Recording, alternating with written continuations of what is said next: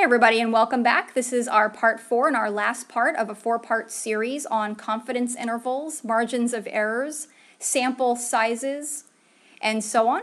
We just finished doing an example to figure out the smallest sample size needed to get a certain margin of error, and now we're going to move on to the next example. In this next example, we're going to look at how to find a sample mean and a sample standard deviation given a small set of data. Now I'm going to show you how to do this by hand but I also want to remind everyone that most of the time we don't calculate sample standard deviations or even means by hand. Usually we'll type these values into either Excel, StatCrunch, SPSS, or whatever you want to use, and it can calculate the sample standard deviation for you. However, it's very important to understand the process of calculating this so you can see what's really going on. And that's what we're going to see here. And we're also going to see several other examples. So suppose this is my data set. What is the sample size that I have here? All right, well, this is a sample of some data that's out there. Maybe it's cholesterol levels, who knows. The sample size is the number of data points or the number of pieces of data that I have. In this case, my sample size is 14. Our sample size is always represented by the letter n. The next question is, what is the mean for this sample? To find the mean of any sample, you're going to add all the values together and then divide by the total number of values. The mean here is 242.7. I don't have that part written out because I'm assuming most people are comfortable with summing all the numbers together and dividing by 14. And that's how I came up with this mean or average for my sample. Now the next question we're going to look at a little bit more closely is what is the sample standard deviation? The sample standard deviation. And keep in mind that there are two different formulas for standard deviation. In fact, Excel also has two formulas for this as well, as do other applications. The sample standard deviation divides by an n minus 1, and that's how you can kind of tell them apart a population standard deviation formula divides by n. So we're actually looking for the sample standard deviation. If you find that you keep getting the answer wrong when calculating the standard deviation, the problem may be that you need the sample standard deviation but are accidentally calculating the population standard deviation. They are different formulas. So here's, here's the basic formula for a sample standard deviation. First, and this formula actually has many steps, we want to take, let's look at the inside first. It's always best to look at the inside of a formula so that it makes sense. We want to take each value of x. Each value of x is each value in our sample. And we want to subtract from each value in our sample the sample mean. So our first step is to individually subtract the sample mean from each one of these values. That's 14 different subtraction problems. After I do each subtraction, I'm actually going to square those values. Then, after I square all 14 of those values, which will give me 14 more values, I'm going to add them all together. I'm going to add them all together. Then I'm going to divide that value by n minus 1. Then I'm going to take the square root. So there are many, many steps here, and I'm going to show you all the steps written out. Okay, let's see them. Here's my data set in blue. This is my original data set. Here's the sample mean. Remember my first step in the formula is I want to subtract the sample mean from each of my data points. So that's what's going on here in this column. I took each sample mean and subtracted, I'm sorry, I took each x value in the data set and subtracted my sample mean from it. So x minus the mean gives me this value and this value and so on. I get 14 different values because I'm going to be subtracting the sample mean from each one of my data points. So that's step one. My next step in the formula was to square each of these values. That's what's going on here. So I take each of these values that I just created and I square it. That's now where all 14 of these values come from. And let's recall the formula again. The formula tells us first subtract the sample mean from each value of x. We did that. Then square each of those remaining values. We did that. The next thing is going to be to add those values all together. So let's see what that looks like. So again, here's all of our data set. Here's the sample mean. Here's the difference between each of our data sets and the sample mean. So 92 minus 242.7 is minus 150.7 and so on. Here's the square of each of those differences.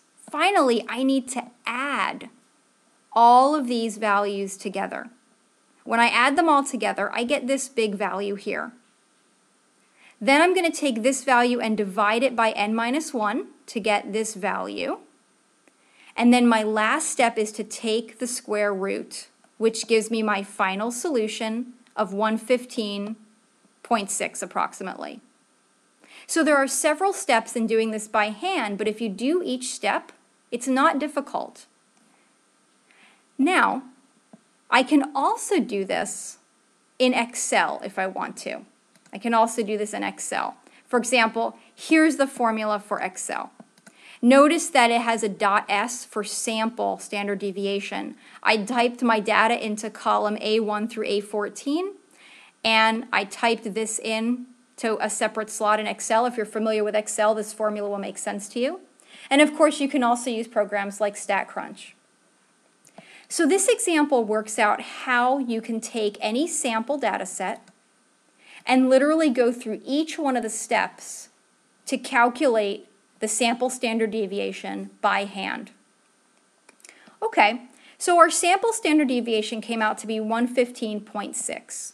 Our sample mean is 242.7. Our sample size was 14.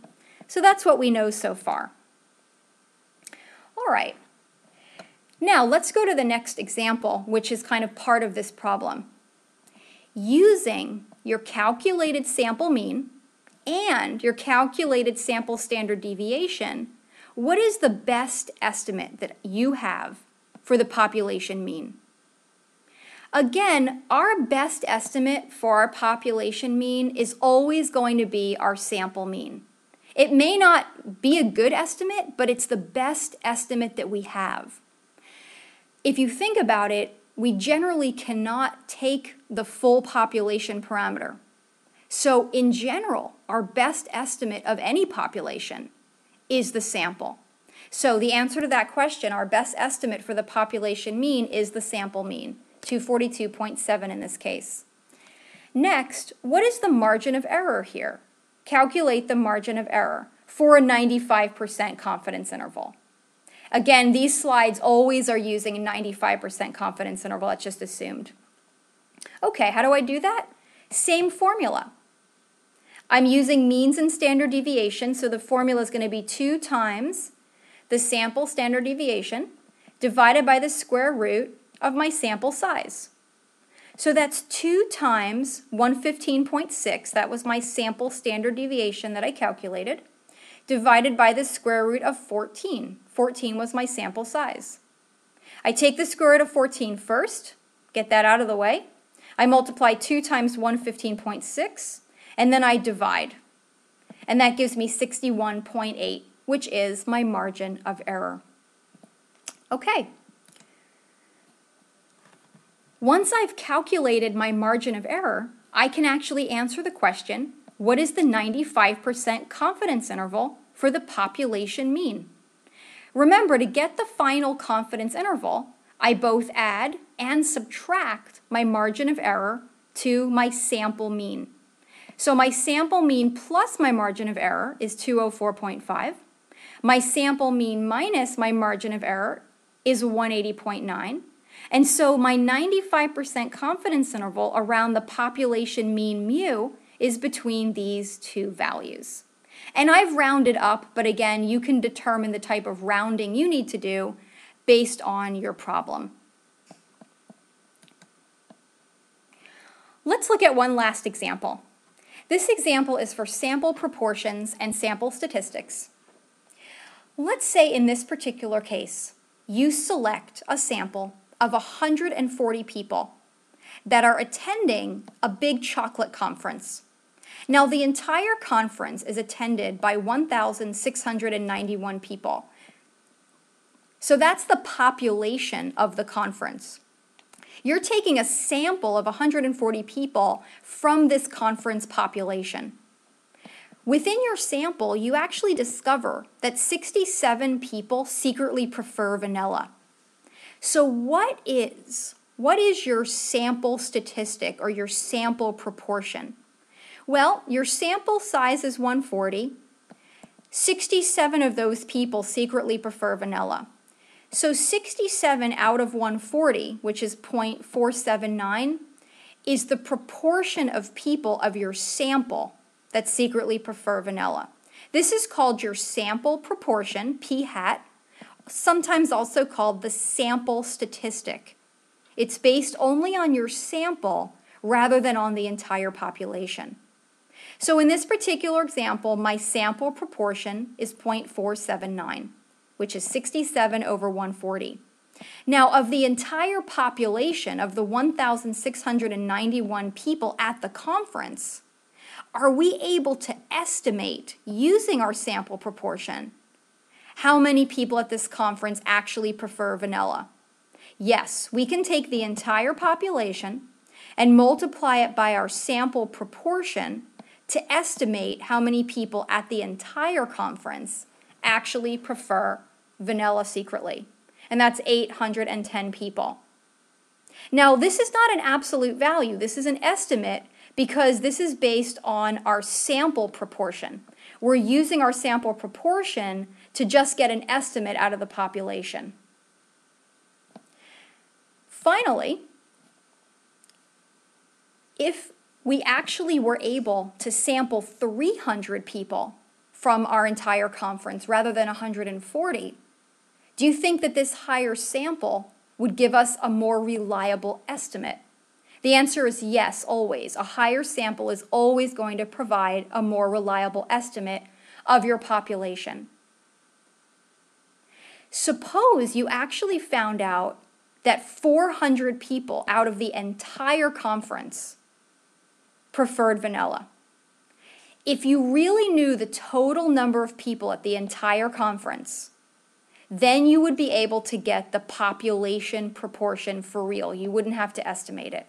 You could take all the people that prefer vanilla, divide it by the entire population of the conference, and that is your population proportion.